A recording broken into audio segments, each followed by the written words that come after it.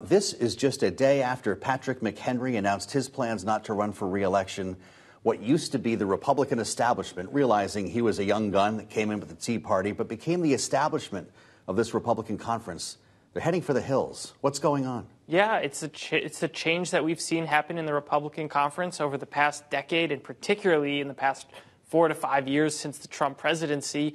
You know, another young gun was Paul Ryan. That's he right. was the speaker. He left. He could not get on board with the Trump style version of the Republican Party. McCarthy channeled it for a little bit, but it was always this uneasy alliance. You kind of knew it was a matter of time before they came from him, mm-hmm. for him, ousted him.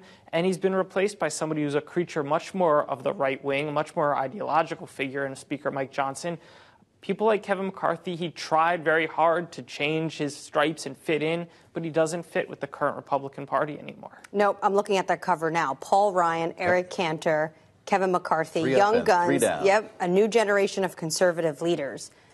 How difficult does this make Speaker Johnson's job, given the fact that the majority is getting slimmer by the day? Yeah, I mean, it could be a case if Democrats win the special election to replace George Santos, and that's a very competitive seat. It's D plus two. Yeah, you know, um, Republicans could be in a position where they can only lose two votes to pass anything. And they've already struggled to pass things with the majority as it is. So they're going to be very constrained next year. It's going to be hard for people, for moderates, to kind of break with the party because they could really sink bills if they do that. Mm-hmm. It's going to be hard for Johnson to keep that group all together.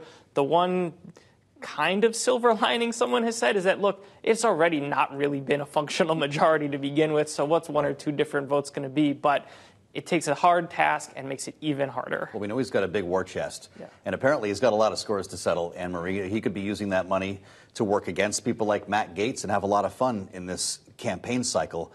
But to your point, we have work to do in Washington.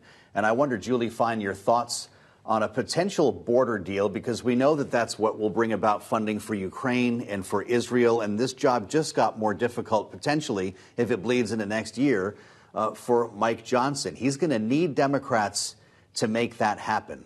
So, what would it look like? Well, I mean, I think they have an issue when it's now going to be coming to down to changes in asylum. I mean, that is going to be difficult to get enough Democrats on board with. Now, the president is signaling he is willing to have a discussion regarding immigration, but you have a lot of sides to get together, some pushing to make sure Ukraine is attached, others saying we don't want to necessarily have that attached unless you get the border done. And now, as you just talked about Kevin McCarthy, so an even slimmer majority. I would say that Mike Johnson has his work cut out for him. Well, we heard from Senator Debbie Stabenow of Michigan calling out Republicans for their negotiating tactics when it comes to the border. Take a listen to what she said earlier today. There were um, a number of things that certainly were put on the table that would garner 10 Democrats, for sure. And so, but unfortunately, it feels like every time something was put on the table, then the goalposts were moved. And the one thing that we will not do is support H.R. 2, which basically would close the border of the United States. Julie, where can we see middle ground? She's saying Democrats will not support H.R. 2.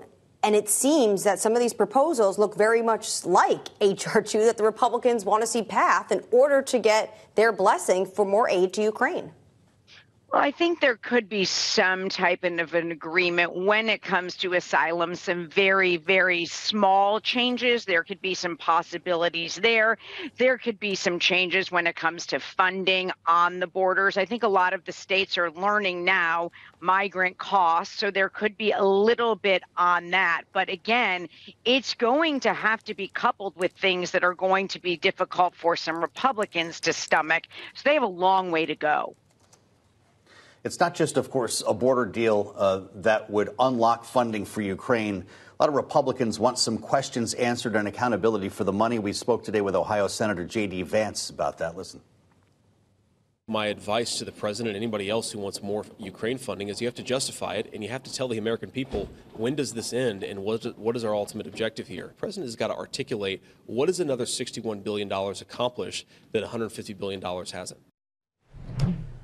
Jonathan, these members want to see an end game drawn out. It's pretty tough to do that when you're talking about the war in Ukraine. What could be the answer from the administration? It's really tough right now. They're at a really um, they're in a really uh, divisive moment, and there's not a lot of common ground. Uh, when it comes to Ukraine, I think some transparency measures are something that Democrats could get on board with. Accountability. Accountability measures. I think the bigger issue is that they're disagreeing about what the negotiation even is.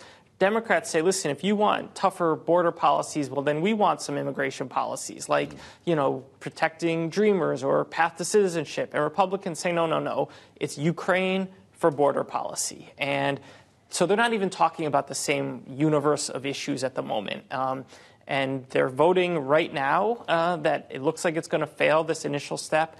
Both sides think they might get some leverage out of it, but this could be something that goes into the new year because there's not a hard deadline on this that could force a compromise in the way that you see when there's a government funding deadline or a debt ceiling deadline. Well, this just in. They lack the votes in the Senate okay. to advance that Ukraine funding. So, what kind of timeline does this set us up with? Because the individuals I have spoken to in the last few weeks are actually saying that they don't think they could see any sort of supplemental until February. It's possible because Congress is only scheduled to work for one more week this this winter. They finally have a year where they don't have a funding deadline over the holidays, and I think lawmakers are very eager to get out of town and not spend their, their December in Washington. And so it could push into the next year. In January and in February, there are new funding deadlines. That could be a moment where there, you know, there has to be something that moves, and so possibly they attach this supplemental mm-hmm. to whatever funding happens then. Um, but that raises the question of how long Ukraine can go without American aid and how much American aid is available between now and then. Well, you better believe we'll hear about the border in the debate tonight. Oh, yeah. Uh, Julie, how big of a role will this issue play? We're down to four here. They're trying to make a mark. And I suspect we'll hear more severe versions of border reform than H.R. 2, as Ron DeSantis, for instance, proposes shooting people as they cross the border.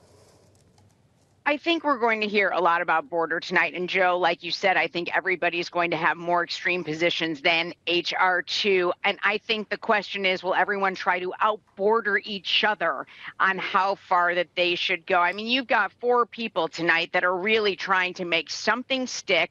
They want some comment to be repeated over and over and over again. So I wouldn't be surprised if you heard something on the border that likely there's no way that it could happen.